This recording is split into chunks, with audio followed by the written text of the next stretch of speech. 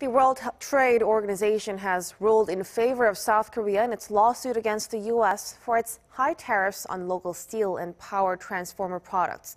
According to Seoul's Trade Ministry on Friday, the WTO panel said all eight cases of Washington's tariffs on South Korean products violated the international organization's rules. Seoul filed a lawsuit in February 2018 when the country claimed Washington has been imposing high tariffs on South Korean products by applying the adverse facts available provision since 2016. The provision allows extremely high anti-dumping tariffs if an accused company doesn't provide the data demanded by U.S. authorities.